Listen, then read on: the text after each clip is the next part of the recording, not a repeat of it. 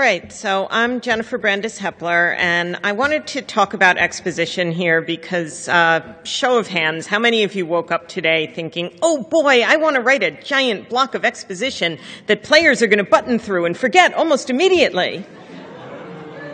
right, and how many of you have had to spend a workday or two doing exactly that? That's kind of what I thought. So now I'm going to stand here for 25 minutes and lecture you on why you should never have someone stand there for 25 minutes and lecture you. So uh, let me start with a little bit of who I am. I've been uh, working in games since the late 90s. I started as a freelancer for a bunch of uh, different tabletop role playing games like Shadowrun and Paranoia. And then after that, I went out to Hollywood for a few years and I was on a, a television show uh, called The Agency on CBS. Well, I wasn't on it, I wrote for it. And uh, after that, I was recruited by BioWare, and I spent eight years there as a senior writer on all three Dragon Age titles and Star Wars The Old Republic. And when I left BioWare, I spent two years as the lead writer uh, on Game of Thrones Ascent for Disruptor Beam. And I'm also uh, a co author of the Game Narrative Toolbox, which is a game writing textbook from Focal Press, and I just got the all clear to announce my new book from Focal Press, uh, which is Women in Game Development Breaking the Glass Level Cap, which will be out this fall. uh, thank you. And uh, just this January, I made a very big change in my career and took a sort of sideways step into serious games, which is something I've been interested in for a long time.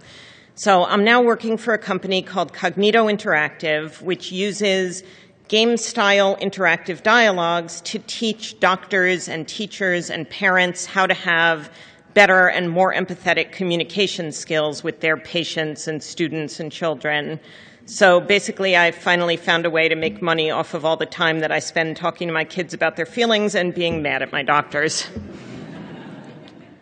So, um, to me, exposition is information that you want to get across to players and you want them to remember, and ha- it has to be delivered in dialogue. So let's start by talking about why we actually have dialogue in games. If you saw my talk here two years ago, you've heard me say this before. The purpose of game dialogue is to move the player forward.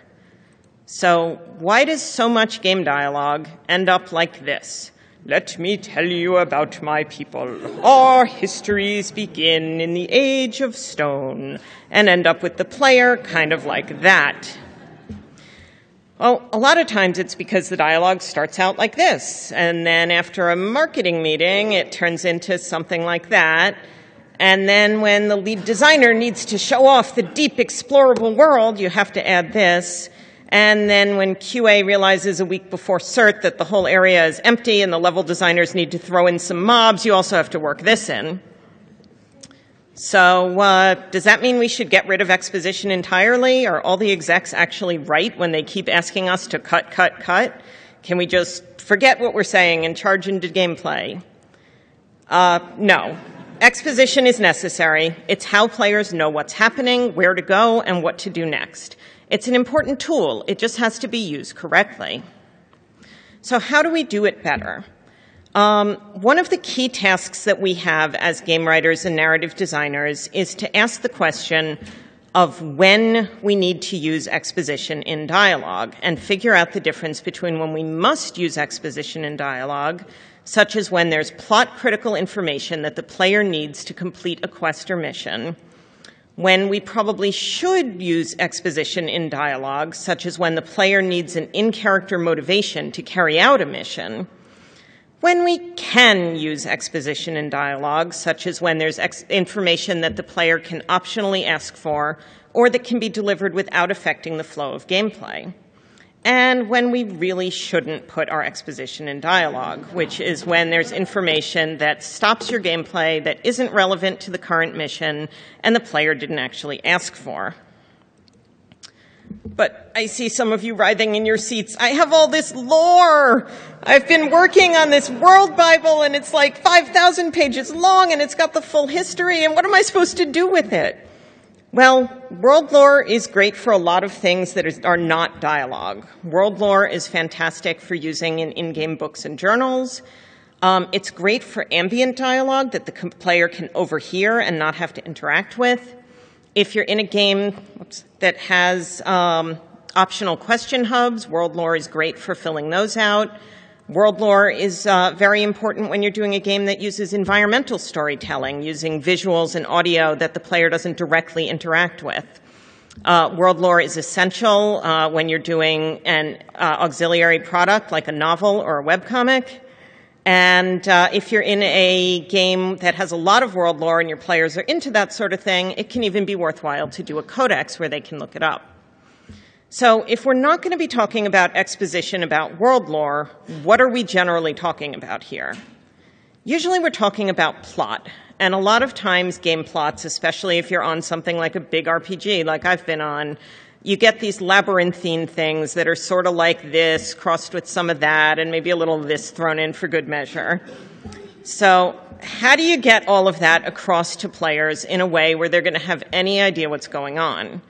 Um, you need to figure out what your key pieces of information are and present them in bite-sized pieces. For example, let's take a plot where we find out that there's an ancient crown that's gone missing, and we learn that the crown is imbued with elven magic, and we find out that the elven kingdom used to lie to the west, and that the kingdom was destroyed in the war with the goblins. In most games, each of these points should probably be its own dialogue uh, you can assume that players will only really remember one thing, usually the last thing, in any dialogue. So by splitting up your important information into different conversations, you really increase the chances that players are going to remember anything. And uh, of course, when we split up our uh, information into little crumbs and we tr- trickle it along for players to follow, we call that a breadcrumb trail. So, are there any best practices for breadcrumb trails? what I've found is that it's really important for players to know what they're looking for first and only then get the details of why and how to use it. So to go back to our crown example, um, you could do something in a game where maybe you would start with a scrap of ancient prophecy that says that only the magic of the elven crown can defeat the goblin king, and you know from the map that there are elven ruins in the west. So you go there and you find the runes that tell the story of the first battle between the elves and goblins, but you can't translate the runes yet. Then on the way out, you meet a scholar who can translate the runes, and he tells you where the escape route was that the elven royalty escaped down when the uh, kingdom fell. And only once you follow the escape route do you actually find the crown and the information of how to use it. By presenting the information in this order what, why, where, and how you make sure that players have a goal in mind. That is the what. That is motivating them to listen when you tell them all that backstory, which is the why. Um, and then you present the piece of information that is going to let them go to the next plot point. That's the where. Uh, and only then do you tell them how this one quest is going to fit into the larger storyline. That's the how.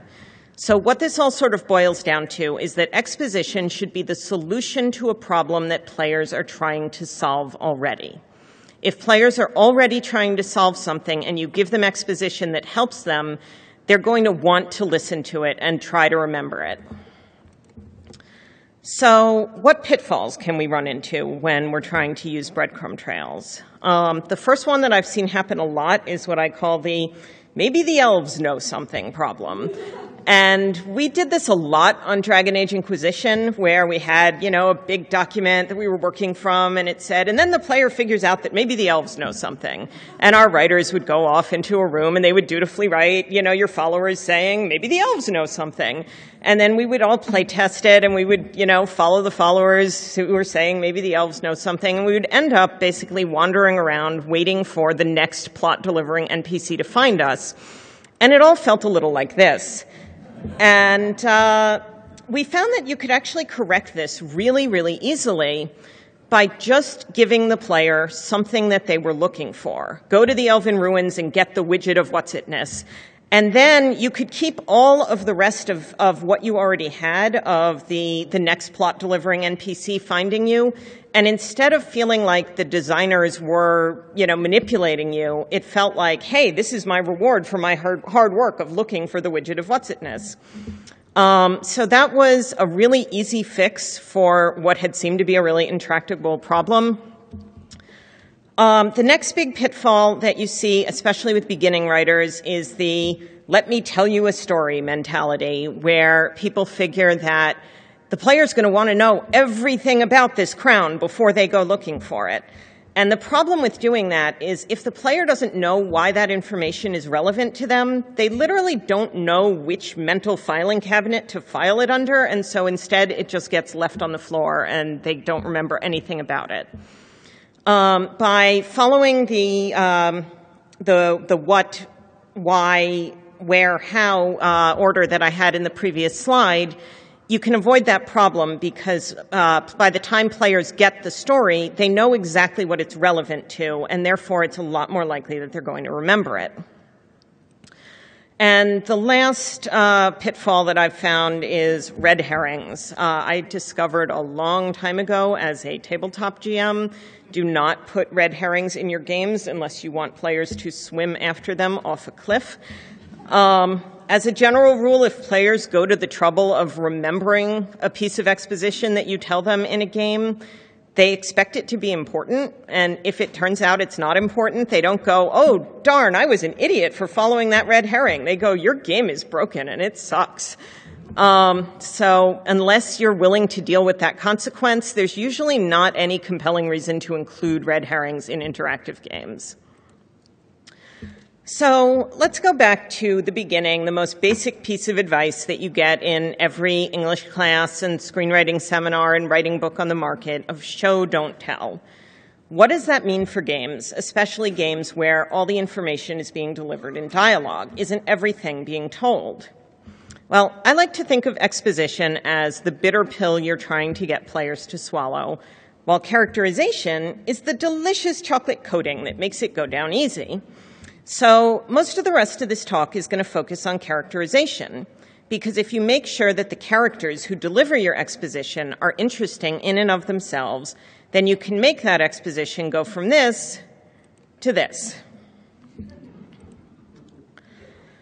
So, the best exposition is characterization. When somebody is telling you something about a plot in your game, you want to know not just what happened, but how it affected them.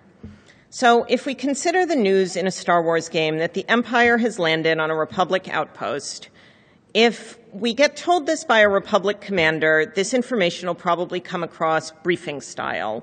Maybe she'll give you some of the political or martial significance of the outpost. Maybe she'll be concerned about looking good to her superior. But if it's told by the outpost's terrified janitor who's hiding in a closet, then you might get the human cost. Maybe he has a family and the Republic won't let them evacuate the planet and surrender to the Empire. Um, if you tell it from the point of view of a defecting Imperial, uh, you'll get a whole third point of view on that. You'll get something about how much better the quality of life is on the outpost and how you have to drive off the Empire or she'll be executed.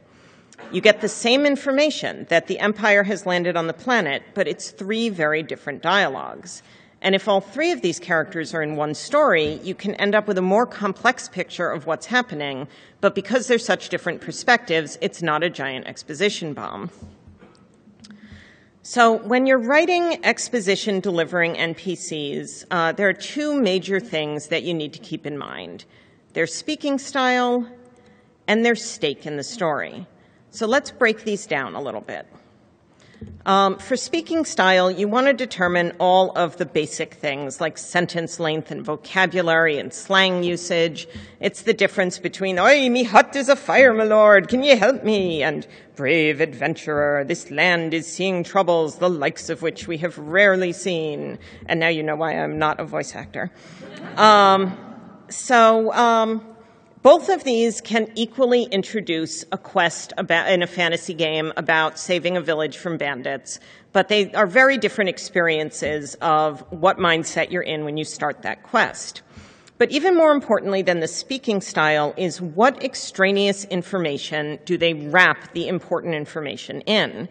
If there isn't any extraneous information, if they're literally not telling you anything other than that bandits are attacking this village, then they can be replaced with a sign nailed to a tree that says, bandits this way. And if your character can be replaced with a sign nailed to a tree, you've done something wrong. So you want to be considering what else they're saying about the situation at the same time as they're giving you the plot critical information. It's the difference between that guy who is talking about justice and how it's not fair that the lords are safe and his people are the ones who are left to starve and die, and the other guy who's mostly just concerned about whether it's going to look bad to the neighbors if he lets his people get killed by bandits. Um, so just to delve into the uh, the more academic for a second here. Um, generally, the more information that you can convey through subtext, the less expository your writing is going to feel. Subtext is the art of not saying exactly what you mean. It's the difference between this and this. And uh, um, any information that's part of the background of a world or plot or character or has to do with how a character is feeling should generally go in subtext. Only information that the player has to immediately act on should be in broad, simple text. And if you're doing serious games work eh, where you actually need to teach your players something, um, and you can't trust them to, to get what you put in the subtext, you can consider using analogies to make information memorable. Uh, I use this a lot in my work at Kognito. Uh, we did a sim to help teach parents how to help their children manage their feelings. And instead of just saying, teach children words for their feelings, we would say things like, just like you tell your baby, that's your nose a hundred times before they say nose, you need to tell them that's you're angry and that's you're scared. And by using that kind of analogy, it makes the information much more memorable. So, stake in the story. If the person who is telling you the information has no stake in the story, then they're probably the wrong person to be giving you this information. You need to replace them with somebody who has something more to lose from what they're saying. Everybody who's talking to you in a game story should have something they want, need, fear, stand to gain, or stand to lose from what they're saying. And it's the variety of these stakes that gives your story texture. If you use too many of the same stake in the story in a row, it gets old, even if it's something legitimately interesting like needing the player to save their life. Um, you want to have a great variety of stakes in the plot. Some people should be doing stuff for noble reasons, some for selfish reasons, some might be deceiving the player, some are offering to profit the player, and others might be asking them to be altruistic. Um, and emotion. If characterization is the chocolate coating that we're using to make our exposition taste good, emotion is actually the sugar that lets us taste all the rest of the work we've put in, because without that, the chocolate tastes kind of like this. Um, so even if you've done the rest right and you have an interesting character with a stake in the story and a cool speaking style, if they don't feel anything about what they're saying, then neither will the player. And a lot of times writers get afraid of sentiment. They don't want to be maudlin or melodramatic. And my personal philosophy on this has always been what the hell? I want my characters to have really big feelings and really care about what they're saying. If it comes across as melodramatic, it's usually easier to tone down a line or performance than it is to add emotion to something written blandly. So all of this generally means that when you're writing for games, you want to be writing twice. The first time you go through and you figure out the information flow of what does the player need to know to be able to get through this game. This is the basics of the job, and if you haven't done this right, then the game doesn't work. But then to do the job really well, you want to go through a second time and figure out in every dialogue, why does the NPC think she's there? What is this story from her point of view? Um, and it can't just be that she's there because she wants to tell you about this. She should have a legitimate reason to be there of her own accord. So one thing to keep in mind when you're doing this second pass is that most people are really self-centered. They don't tend to care about the fate of the world unless it's their job. So your plots become more interesting the more you're dealing with people who this is not their job. Uh, so this is why the poor janitor's story is a lot more memorable than the Republic commanders. The more personal an NPC's motivations, the more memorable they generally are. But one thing to keep in mind is that characterization can also really be exposition if all that your characterization is is characters telling you about their background. So if you look back to the show don't tell maxim, it can help to realize that exposition is any kind of telling, even if you're telling people about character, while characterization is any kind of showing, even if it's about world or plot. So just telling players the facts of a character's backstory of, hi, I'm Bob, I'm a Jedi Knight, I entered the academy at four, and I apprenticed to Master so-and-so and fought my first battle at blah, blah, blah. None of that is really characterization, even though a lot of writers would think it is. Characterization comes from how characters react, not from long explanations. If you have a character with a complex backstory, you can handle that just like any other exposition. It can be broken into parts and then delivered by other characters who have their own reason to like or hate the character in question. For example, let's go back to Star Wars and say we have a character who was once tortured by the Empire. Um, in order to show this to the player, you could do something like first show him being very anti empire, even when talking to somebody really sympathetic, like a defector who just saved your life. Then later, maybe he knows something that he shouldn't, like the back way into an imperial ship. Then once you're inside the imperial ship, you meet somebody who recognizes him, but because you're in the middle of a firefight, you can't stop and ask about it right now. Uh, this means that by the time you can really ask about the backstory, a lot of the basics of it have been established already. Um, you've already been intrigued about it for a while so that when the backstory information is given to you, it feels like the answer to a question you've already been asking. And you've already seen that it can be useful to you. Look, he knew this one thing about the Imperial ship. What else might he know if I get him to answer uh, the full story of what happened to him?